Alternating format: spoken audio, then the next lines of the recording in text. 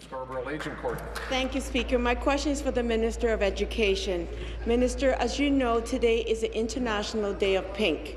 The Day of Pink is an anti-bullying initiative which began in Nova Scotia after a grade 9 student who was bullied in his school for wearing pink.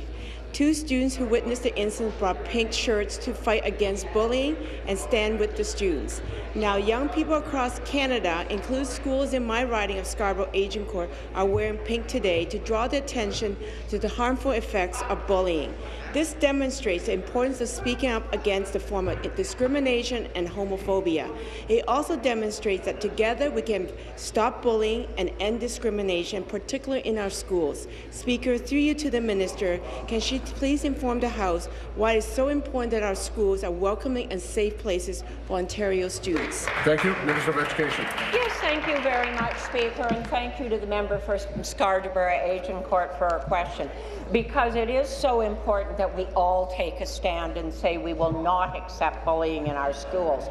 And you know, as the chair of the Safe Schools Action Team and a Minister of Education, I've visited schools all across the province that are taking a stand across, against bullying. And I think of one school I visited in Guelph, actually, uh, and visited with, with the students in the Gay Straight Alliance, the GSA at this school.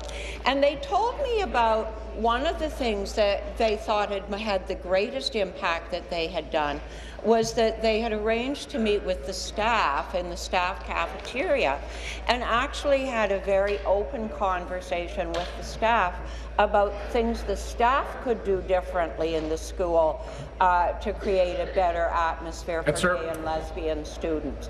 Another student told me that she wasn't gay, she wasn't lesbian, but that the GSA had Thank you. supported her in her bullying Thank you. Thank you. Supplementary. Mr. Speaker, initiatives like the International Day of Pink shows that our young people want to stand up to bullying. But we know that bullying doesn't just happen in our classroom, Mr. Speaker. It occurs on internet, on websites like Facebook and Twitter. We also know there have been tragic incidents of young people taking their lives because of bullying they have received in the classroom and online. Speaker, through you to the minister, can she inform the House what our government is doing to combat bullying outside the classroom? Good question. Good.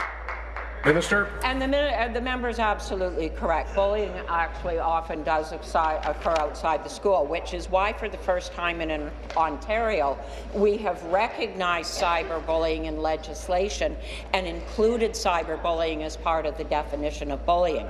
We've also given principals the authority to take action when there is negative, when there is bullying that takes place online that has a negative impact on the school. And I think of one school that I visited here in Toronto that actually took the action uh, beyond just looking at the students cyberbullying. They actually set up an email line where kids could report bullying online.